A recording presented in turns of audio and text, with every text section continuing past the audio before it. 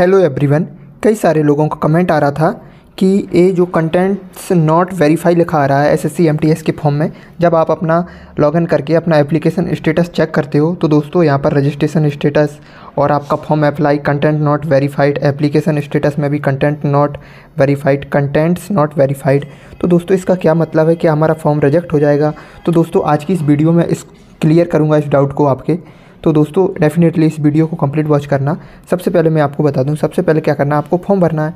उसके बाद आपकी जो कंप्लीट हो जाए फॉर्म भरना फ़ीस मीस कंप्लीट हो जाए, उसके बाद आपको ऐसा स्टेटस देखने को मिलेगा।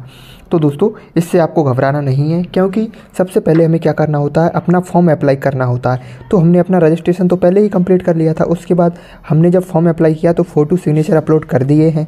फॉर्म भी हमारा कंप्लीट हो चुका है पेमेंट भी हमारा कंप्लीट हो चुका है, और जो एप्लीकेशन है वो उनको रिसीव्ड हो चुका है। अब इनका मतलब ये है कि हमारे पास ये सब चीज़ें तो आपने कर दी हैं, अभी आपका जो कंटेंट्स उसको वेरीफाई नहीं किया गया है। तो दोस्तों, ये वेरीफाई तब किया जाता है जब आपकी जो फॉर्म भरने की लास्ट डेट है वो निकल जाएगी। उसके बाद डिपार्टमेंट हर एक कैंडिडेट का जो फॉर्म होता है, उसको वेरीफाई करते हैं। वो तो सिस्टम के द्वारा वेरीफाई किया जाता है।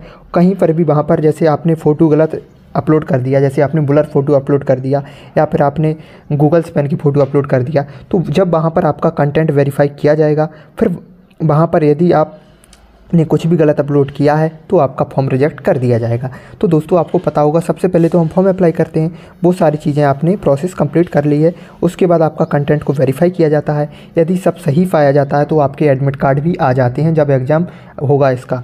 और जिनका कुछ भी गलत है, उनके एडमिट कार्ड नहीं आएँगे। उनके एडमिट कार्ड में मतलब जब डाउनलोड करते हैं तो उनका लिखा आ जाता है कि योर फॉर्म रिजेक्टेड तो दोस्तों, ये तो बाद में चेक किया जाता है, इससे आपको घबराना नहीं है। ये डिपार्टमेंट अब जैसे फॉर्म की लास्ट डेट चौबीस कर दी गई है, उसके बाद ये कंटेंट वेरीफाई किया जाएगा। और जिनके भी वेरीफाई हो जाएँगे, लगभग सभी के हो जाते हैं, और जिनकी फॉर्म में कोई प्रॉब्लम होती है, उन्हीं का ही रिजेक्ट होता है फॉर्म तो दोस्तों कंटेंट वेरीफाई डिपार्टमेंट के द्वारा किया जाता है, इनसे आपको कुछ भी घबराना नहीं है।